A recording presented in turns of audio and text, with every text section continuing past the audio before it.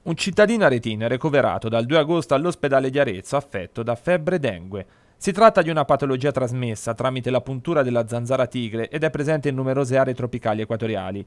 L'uomo ricoverato appena rientrato da una vacanza in Thailandia con la famiglia. È l'unico componente del nucleo familiare il risultato affetto da questa malattia virale. Le sue condizioni sono in miglioramento con la scomparsa della febbre. Va detto che la malattia non si trasmette direttamente da uomo ad uomo, ma tramite la puntura di zanzara.